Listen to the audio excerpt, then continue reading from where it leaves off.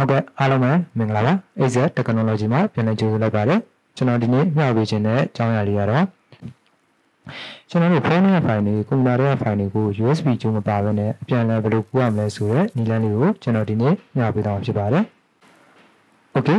ကျွန်တော်တို့ USB ကျုံနဲ့ကူးတာတော့တော်တော်များလဲတည်ပြီးသားဖြစ်မှာပါเนาะ Okay ဒီနေ့တော့ကျွန်တော်တို့ USB ကျုံမပါဘဲနဲ့အဲဖုန်းနဲ့ကွန်ပျူတာကိုကျွန်တော် data file တွေအပြန်အလှန်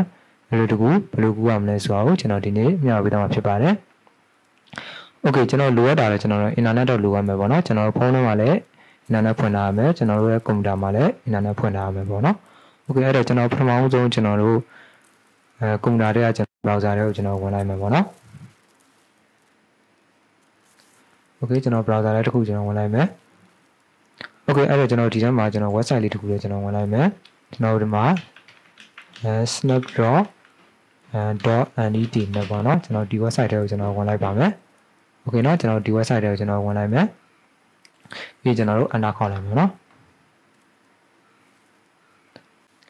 ကျွန်တော်ရဲ့ဖုန်းမှာလည်းကျွန်တော်ဒီ website ထဲကိုကျွန်တော်ဝင်ရမယ်ပေါ့နော်။ဒါမှမဟုတ်ကျွန်တော်တို့ဖုန်းထဲမှာဆိုရင်ကျွန်တော် website ထဲဝင်ခြင်းလဲကျွန်တော်တို့ app လေးရှိရပေါ့နော်။ကျွန်တော်ဖုန်းလေးကျွန်တော်တစ်ချက်ပြမယ်။အဲကျွန်တော်ရဲ့ဖုန်းထဲမှာဆိုရင်ကျွန်တော်တို့ဒီကျွန်တော် app လေးသွင်းထားတယ်ပေါ့နော်ဒီ snapdragon ဆိုတဲ့ app လေး application လေးကျွန်တော်သွင်းထားတယ်ပေါ့နော် အဲကျွန်တော် application မသွင်းချင်ဘူးဆိုရင်လည်းကျွန်တော်တို့ website ထဲကိုလည်းကျွန်တော်ဝင်လို့ရတယ်ပေါ့နော်ဒီမှာတော့ကျွန်တော် application လေးပဲကျွန်တော်သွင်းထားတယ်ပေါ့နော်ဒီ application လေးကိုလည်းကျွန်တော်တို့ Play Store မှာကျွန်တော်တို့အလွယ်တကူ download ရတယ်ပေါ့နော်ဒီ Snapdragon ဆိုကျွန်တော်ရိုက်ထည့်ပြီးတော့ကျွန်တော်တို့လွယ်တကူ download ရတယ်ပေါ့နော် Okay အဲ့တော့ကျွန်တော်ဒီ application ကိုကျွန်တော်ဝင်လိုက်မယ် Okay ဝင်လိုက်မယ်ဆိုရင်ကျွန်တော်တို့ဒီမှာဆိုရင်ကျွန်တော်ကွန်ပျူတာမှာကြည့်လိုက်ပါကျွန်တော်ဖုန်းပုံစံမျိုးလေးပေါ်လာပြီပေါ့နော်အဲဒီဖုန်းမှာလည်းကျွန်တော်ကွန်ပျူတာ icon ပုံစံမျိုးလေးပေါ်လာပြီပေါ့နော် အဲဒီမှာဆိုရင်ကျွန်တော်တို့ကျွန်တော်ရဲ့ဖုန်း model လေးကျွန်တော်ဒီမှာအောက်မှာပေါ်နေပါတော့။ Okay ဒါတော့ကျွန်တော်ရဲ့ဖုန်းပေါ်နေပါတော့။ဒါကိုယ့်ရဲ့ဖုန်း model ပေါ်လာပြီပေါ့နော်။ Okay ပထမဆုံးကျွန်တော်တို့ကျွန်တော်ဖုန်းရဲ့ file ကိုကျွန်တော်ကွန်ပျူတာထဲရင်ကူးထည့်ကြည့်မယ်ပေါ့နော်။ Okay ကျွန်တော်ဖုန်းရဲ့ file ကိုကျွန်တော်ကွန်ပျူတာထဲထည့်ကြည့်မယ်။အဲ့ဒါကျွန်တော်တို့ဒီမှာကွန်ပျူတာ icon လေးကိုကျွန်တော်နှိပ်လိုက်မယ်ပေါ့နော်။ဒီမှာဖုန်းလေးကကျွန်တော်ကွန်ပျူတာ icon လေးကိုကျွန်တော်နှိပ်လိုက်မယ်။ Okay ဒီမှာဆိုရင်ကျွန်တော်တို့ဒီပုံလေးတွေပေါ့နော်ဒီပုံလေးသုံးပုံကိုကျွန်တော် ကွန်ပျူတာထဲထည့်ကြည့်မယ်ပေါ့နော်အဲ့တော့ကျွန်တော်ဒီပုံလေးသုံးပုံကိုကျွန်တော်ဆက်လက်ပေးလိုက်မယ်ပေါ့နော်အခုကျွန်တော်ပေးရတဲ့ပုံသုံးပုံပေါ့နော်ဒီပုံလေးကိုကျွန်တော်တို့ကွန်ပျူတာထဲထည့်မယ်ပေါ့နော်ဟုတ်ကဲ့အဲ့တော့ကျွန်တော်ဒီမှာ select ပေးပြီး select ပေးပြီးဆိုရင်ကျွန်တော်ကျွန်တော်တို့ဒီမှာညာဘက်တောင်လေးမှာ open ဆိုတာရှိရပါတော့ညာဘက်တောင်အပေါ်ဆုံးလေးမှာ open ဆိုတာရှိရအဲ့လိုကျွန်တော်နှိပ်လိုက်မယ်နှိပ်လိုက်မယ်ဆိုကျွန်တော်ဒီမှာကြည့်ပါကွန်ပျူတာထဲကိုကျွန်တော်မြန်မြန်ဆန်မဲ့ရောက်လာတာကိုကျွန်တော်တို့တွေ့ရမှာပေါ့နော်โอเคမလို့ကျွန်တော်ဆိုကျွန်တော်တို့ ignore ပေါ့နော်ကျွန်တော်တို့လိုချင်တယ်ဆိုရင် save ပေါ့နော်ကျွန်တော် save လုပ်လိုက်မယ်โอเคဒီမှာတစ်ပုံ โอเคဒီမှာတစ်ပုံကျွန်တော်ပုံတော့ပုံမြန်မြန်ဆန်မဲ့ကျွန်တော်ရောက်လာတာကိုကျွန်တော်တွေ့ရမှာပေါ့နော်โอเคဒီမှာကျွန်တော် right click နေပြီးတော့ဝင်ကြည့်လိုက်မယ်โอเคကျွန်တော်ဒီနေ့ပို့ထားတဲ့ပုံလေးတွေပေါ့နော်ဒီအောက်မှာကျွန်တော်ရှေ့မှာပို့ထားတဲ့ကျွန်တော်ပုံလေးပေါ့နော်ဒီမှာဆိုရင်ကျွန်တော်စနပို့လိုက်တဲ့ပုံလေးသုံးပုံကျွန်တော်ဖွင့်ကြည့်လိုက်မယ်โอเคဒီမှာဆိုရင်ကျွန်တော်ပို့လိုက်တဲ့ပုံလေးရောက်လာပြီပေါ့နော်ကျွန်တော်ဖုန်းလေးရပုံလေးကွန်ပျူတာလေးရောက်လာတာကိုကျွန်တော်တွေ့ရမှာပေါ့နော်โอเคနော် ကျွန်တော်ပုံမှန်ပေါ့ကျွန်တော်ဗီဒီယိုလည်းပို့လို့ရတယ်เนาะဗီဒီယိုလို့ကျွန်တော်တို့ PDF file လို့เนาะတခြားသောအရာတွေလည်းကျွန်တော်တို့ပို့လို့ရတယ်ပေါ့နော်โอเคဒီတော့ကျွန်တော်တို့ဗီဒီယိုလေးပို့ကြည့်မယ်โอเคဖုန်းလေးရဲ့ဗီဒီယိုလေးတစ်ခုကျွန်တော်ကွန်ပျူတာလေးပို့ကြည့်မယ်ပေါ့နော်โอเคကျွန်တော်ဒါရဲ့အားတာချက်ကကျွန်တော်တို့ဗီဒီယိုလေးကျွန်တော်တို့ site ဘယ်လောက်ကြီးကြီးပို့လို့ရတယ်ပေါ့နော်ကျွန်တော် limit အကန့်အသတ်မရှိဘူးပေါ့နော်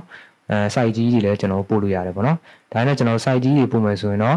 အဲဗီဒီယို site ကြီးလေးကျွန်တော်တို့အချိန်နဲ့နဲ့စောင့်ရတယ်ပေါ့နော်ကျွန်တော် line ပေါ်လည်းမူတည်ရပေါ့နော် line ကောင်းရင်တော့ကျွန်တော်မြန်တယ်ပေါ့နော်โอเคအဲ့တော့ကျွန်တော်တို့ဒီမှာဖုန်းလေးကကွန်ပျူတာ icon လေးကိုကျွန်တော်နှိပ်လိုက်မယ်ဗီဒီယိုလေးတစ်ခုကျွန်တော်ပို့ကြည့်မယ်ပေါ့နော်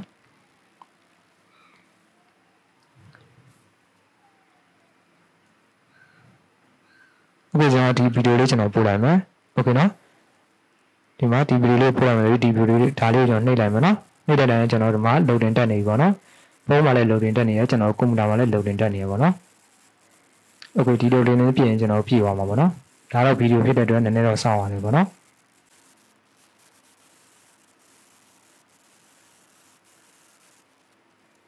โอเคကျွန်တော်တို့မှာဗီဒီယိုလေးရောက်လာပြီပေါ့နော် file receipt ဆိုပြီးကျွန်တော်ရောက်လာပြီဒီမှာကျွန်တော်တို့လိုချင်တယ်ဆိုရင် save ကိုနှိပ်လိုက်ပေါ့နော်ဟိုကကျွန်တော်ဒီမှာဗီဒီယိုလေးရောက်လာပြီပေါ့နော်ဒီဗီဒီယိုလေးကိုကျွန်တော်ဖွင့်ကြည့်လိုက်မယ်โอเคဒီမှာဖွင့်ကြည့်လိုက်မယ်ပေါ့နော်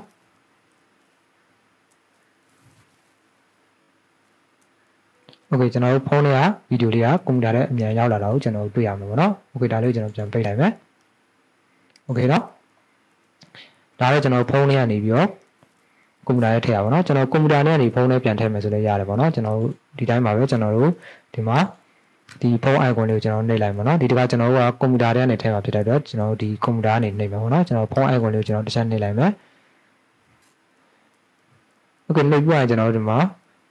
ကျွန်တော်ဖိုတိုလေးကျွန်တော်ထည့်ကြည့်လိုက်မယ်နော်ဒီပုံလေးကျွန်တော်ထည့်ကြည့်လိုက်မယ်ဒီပုံလေးသုံးပုံကိုကျွန်တော်ထည့်လိုက်မယ်โอเคအဲ့ဒါကျွန်တော်ဒီပုံသုံးပုံကျွန်တော်ဆက်လက်ပေးလိုက်မယ်ပြီးရင်ကျွန်တော်တို့ဝက်ပောက်ကိုနှိပ်လိုက်မယ်ပေါ့နော်โอเคဒီမှာကျွန်တော် loading တက်နေပြီပြီးကျွန်တော်ဖုန်းလေးကိုကျွန်တော်တစ်ချက်ကြည့်လိုက်မယ်ပေါ့နော်โอเคဖုန်းထဲမှာကျွန်တော်မြန်ဆန်မဲ့ရောက်လာတာကိုကျွန်တော်တွေ့ရမှာပေါ့နော်ဒီမှာကျွန်တော်လိုချင်တယ်ဆိုရင်ကွန်ပျူတာအတိုင်းပဲကျွန်တော် save ပေါ့နော်